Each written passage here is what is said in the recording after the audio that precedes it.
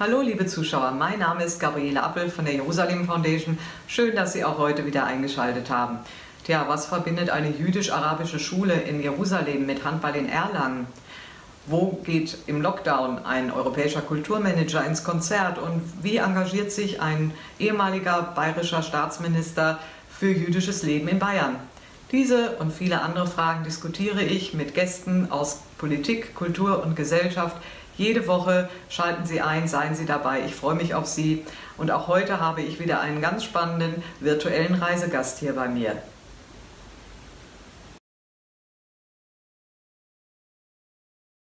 Verbunden bin ich heute mit dem Intendanten des Festspielhauses Baden-Baden, Herrn Benedikt Stamper.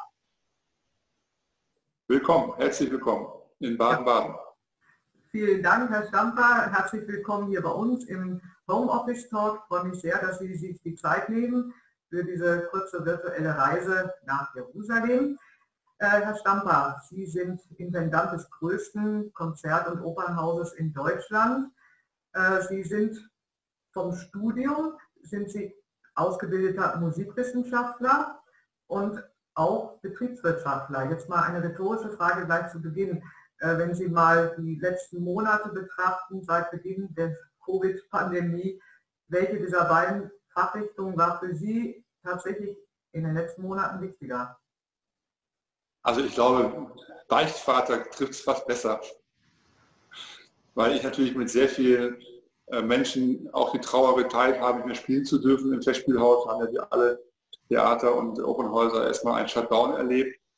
Wir haben mit sehr vielen Künstlern gesprochen, die nichts mehr hatten, keine Konzerte, keine Einnahmen äh, Regisseure, die auf Konzepten liegen geblieben sind, die wir hier für Baden-Baden genommen hatten. Also da gab es unheimlich viele Gespräche und auch gegenseitige Tröstung. Das gleiche mit den Mitarbeiterinnen und Mitarbeitern im Haus und das dritte natürlich unsere Besucherinnen und Besucher, die plötzlich gar nicht mehr kommen konnten. Und es war wie so ein, wie so ein Untergang für viele, weil sie halt sehr, sehr an den Festspielhaus hängen.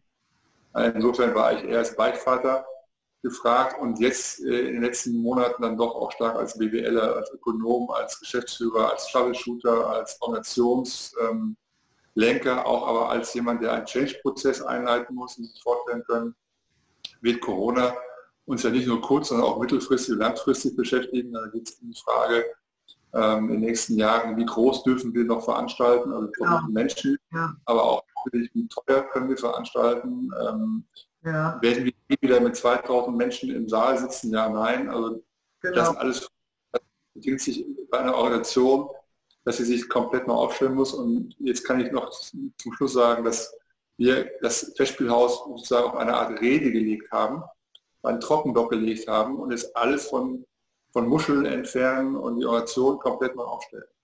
Ich habe die Betriebswirtschaft natürlich auch unter einem ganz bestimmten Gesichtspunkt erwähnt, denn ähm, vor kurzem war zu lesen, äh, für Sie natürlich die unglaublich freudige Nachricht, äh, dass ein finanzieller Rettungsschirm über dieser ja komplett bislang privat geführten Organisation, äh, Institution gespannt wurde. Land Baden-Württemberg, Stadt Baden-Baden, ihre privaten Förderer und Spender da ist Ihnen ja wahrscheinlich ein echter Stein vom Herzen gefallen, kann ich mir vorstellen. Ja, das kann man, kann man nicht anders sagen. Ja. Das war schon also für uns existenzbedrohend, weil wir eben eine private Organisation sind, zwar gemeinnützig, aber privat, und damit so ein bisschen in die Raster, zwischen die Raster fallen, der, der normalerweise kommunale Schaden tragenden Opernhäuser, Theater und so weiter.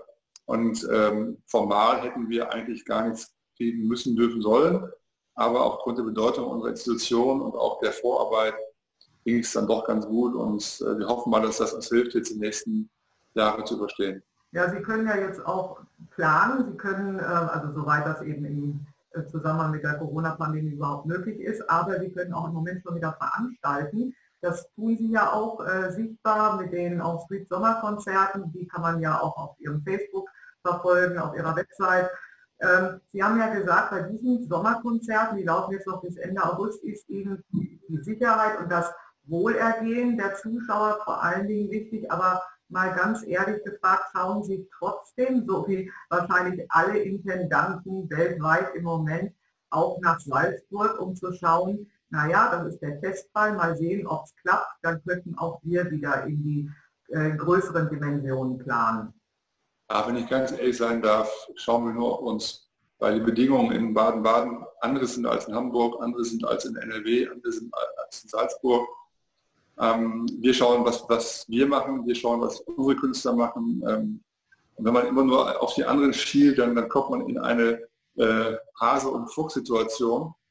Äh, und das will ich nicht. Also wir wissen, wir, wir, wir sind das Festbad Baden-Baden, wir machen unser Ding und äh, für uns sind die Künstler und das Publikum, was wir ansprechen, wichtig. Ja, dennoch nochmal im Vergleich, Sie haben ja insofern einen, denke ich mal, strategischen Vorteil im Moment. Sie haben ja eben schon die große Platzzahl erwähnt, 2500 Plätze.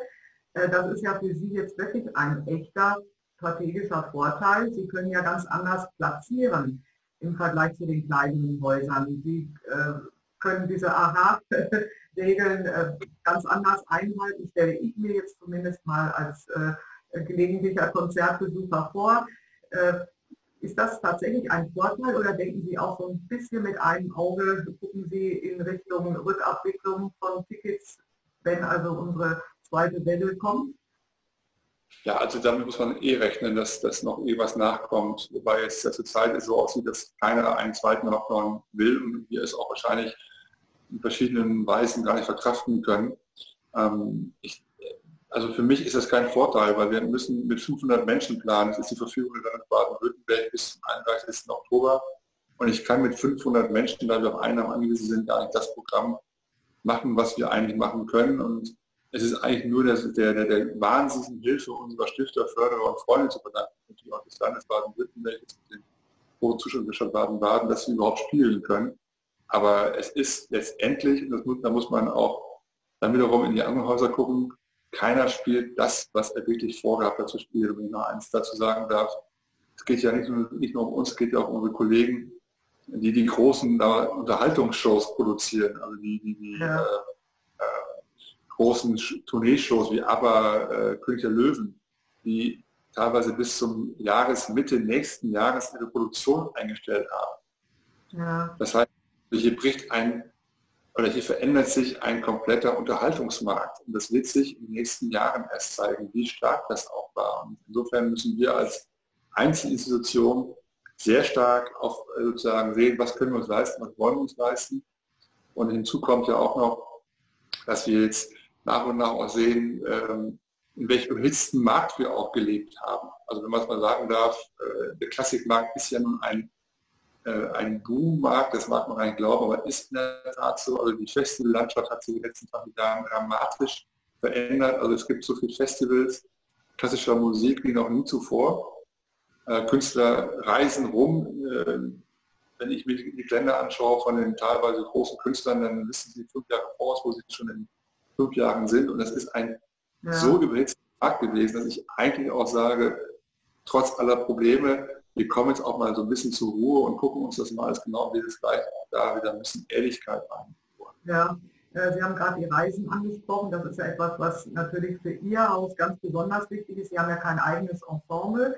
Ähm, Sie äh, laden ja die, wirklich die größten Stars der Welt ein. Sie haben, äh, hatten ja auch viele neue Opernproduktionen, Operensembles eingeladen für ihre nächsten Saisons.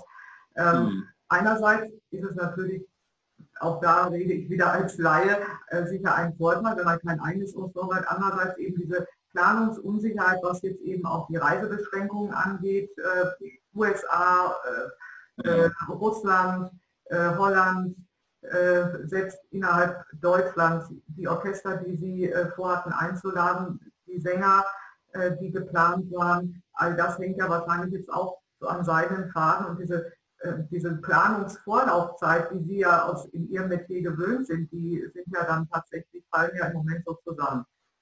So ist das, so ist das. Ich habe ähm, viele Sachen erfahren in diesem, in diesem, Bereich hinter mir.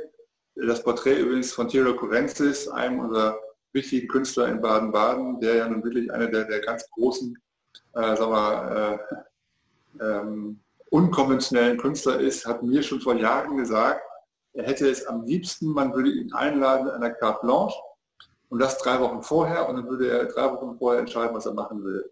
Also Theo hat schon vorausgesehen, wie wir uns in den nächsten Jahren aufstellen könnten.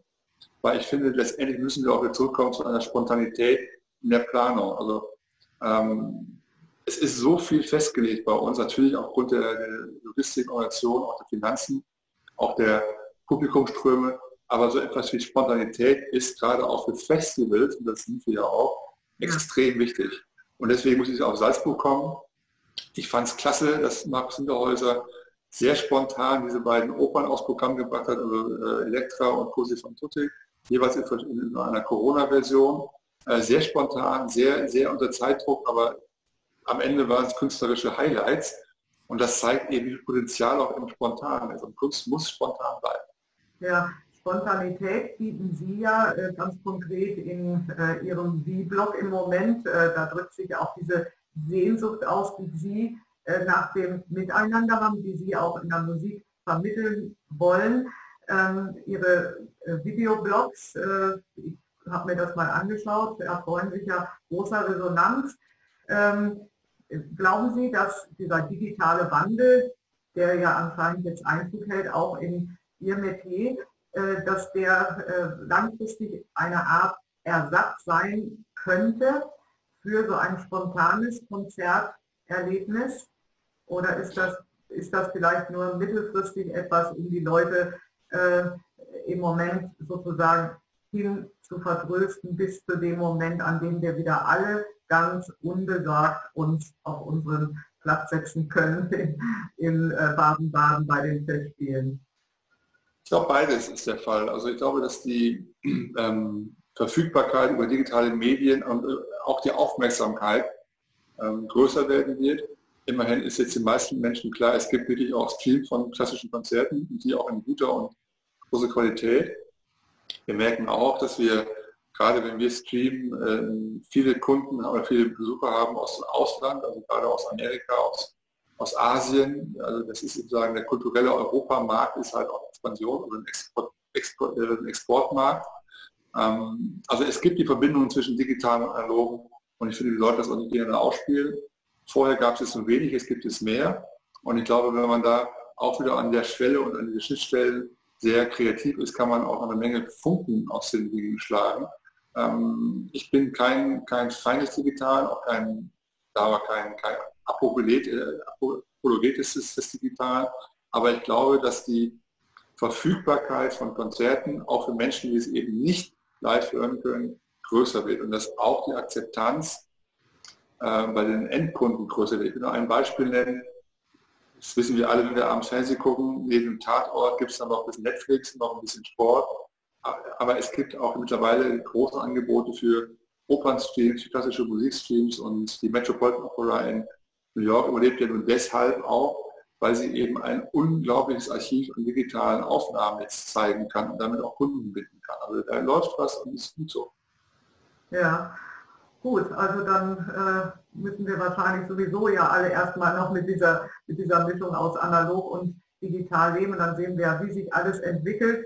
Äh, wir bleiben hoffnungsfroh. Ich komme jetzt ja. äh, zum Ende unseres Talks nochmal auf äh, einen Mann zu sprechen, den wir ganz zu Beginn erwähnt hatten im äh, Zusammenhang mit ihren Ensuite-Konzerten, nämlich den Namen Frieda Beuder, Ehrenbürger der Stadt Baden-Baden. Und äh, in seinem Museum veranstalten sie ja auch eben gerade diese Sommerkonzerte. Ähm, ich kann mit Frieda Beuder die Brücke auch nach Jerusalem schlagen. Er war ähm, ein großer Freund äh, Jerusalems. Die Stadt hat er kennengelernt über den Gründer unserer Stiftung, Teddy Kollek, den legendären Jerusalemer Bürgermeister. Und ähm, meine Frage, hatten Sie Frieda Burda noch kennenlernen können vor seinem Tod und ähm, wie war so der Austausch mit ihm? Also leider habe ich ihn nicht mehr kennenlernen Es war wirklich traurig und eigentlich auch äh, ja, unsäglich traurig, dass Frieda ja. Burda genau in dem Zeitraum gestorben ist, wo ich in Baden-Baden angefangen habe. Er war auch schon lange krank, insofern war er auch nicht mehr so da. Aber die Familie ist präsent. Ich habe mit der Witwe guten Kontakt aufgebaut und mit der ganzen großen Familie. Äh, Buddha ist bestimmt für Baden-Baden, nicht nur äh, als Person, als Persönlichkeit fürs Museum, sondern eben auch für die Geschichte unserer Stadt. Die letzten 40, 50 Jahre ist Buddha-Geschichte in Baden-Baden. Das zeigt auch letztendlich, wie, wie äh, bedeutend, auch Persönlichkeiten, wenn sie sich für etwas entscheiden, auch langfristig sein können. Und gerade wenn Sie ansprechen, äh, Jerusalem, weiß ich auch, dass natürlich die Verbindung da extrem, extrem groß war und für uns als äh, Institution ähm, sind die Verbindungen natürlich auch wichtig. Und ich meine, gerade es gibt ein tolles Orchester aus Jerusalem. Ich, ich werde nie vergessen, wie ich einmal eine Reihe gemacht habe. Ähm, also ich war leider noch nie in Jerusalem, das muss ich mal wirklich ändern, aber ich genau. muss sehen, das äh, ist jetzt einfach mal die Offenbarung heute Abend, aber heute, aber ähm, ich hatte ein, ein, ein wirklich Erlebnis mit dem Jerusalem String Quartet. Ich weiß nicht, ob Sie das kennen. Ja, ja, ja. Ein gutes, mittlerweile auch arriviertes Festival, Orchester, äh, Schallquartett. Ähm, wir hatten vor zehn Jahren, glaube ich, in Dortmund, als ich damals in Dortmund tätig war, den ersten Shostakovich-Zyklus mit dem äh, Quartett aus Jerusalem gemacht. Es war ein Sensationserfolg und ich weiß noch, dass sie teilweise auch aus, aus Israel reingereist kamen, um das in Dortmund zu hören. Also die Begeisterungsfähigkeit war riesengroß und das nicht vergessen. Ja, hoffen wir, dass solche Möglichkeiten des musikalischen Austauschs dann tatsächlich auch äh, bei Zeiten wieder möglich sind. Also das ist, ist wirklich Ihnen und allen Künstlern zu wünschen. Äh, und mit diesem Wunsch werde ich mich auch noch äh, gleich verabschieden, mit dieser Karte allerdings auch. Äh, die Karte drückt aus, ich brauche von Ihnen bitte noch einen Überraschungsgast für einen nächsten Talk. Herr Stamper, wen darf ich denn auf Ihre Empfehlung hin einladen? Ich habe es überlegt und ich würde gerne Thomas Hengeborg vorschlagen. Wunderbar. Thomas ja. ist einer der berühmtesten deutschen Dirigenten, Barockdirigenten, mittlerweile aber auch einer der großen Dirigenten für das 18. Jahrhundert. Sein Tannhäuser in Bayreuth ist auch auf eine Art legendär. Ich habe mit ihm viel gemacht. Wir haben den Parsifal mit ihm aufgeführt in Dortmund und Essen, Madrid. Das war die letzte, äh, letzte Aufführung von Gérard Mortier in, in Madrid, also ein wirklich äh, großer Dirigent mit einer unglaublichen Vitalität und äh, großen Bezug zu, zu, zu, zu Musik und ähm, er lebt in Paris jetzt mit seiner Frau zusammen, äh, ist aber ein Wilhelmshavener, hat also viele Verbindungen, auch bei den in Hamburg und so weiter und ist ein, ein, ein, ein großer äh, Überzeugungstäter für Kultur und ihm würde ich vorschlagen, das zu Schön, denn solche Überzeugungstäter brauchen wir tatsächlich in diesen Zeiten.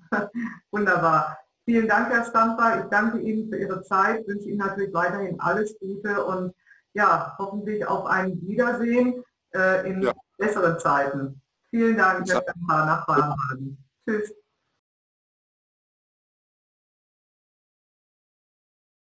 Ja, und das war es auch schon wieder bei unserem Homeoffice Talk. Ich hoffe, diese virtuelle Reise nach Jerusalem hat Ihnen gefallen. Wenn Sie sich für die Projekte der Foundation interessieren, schauen Sie einmal auf unsere Website jerusalemfoundation.org oder schreiben Sie mir eine E-Mail. Ich freue mich in jedem Fall von Ihnen zu hören. Machen Sie es gut, bleiben Sie gesund und bis zum nächsten Mal. Auf Wiedersehen.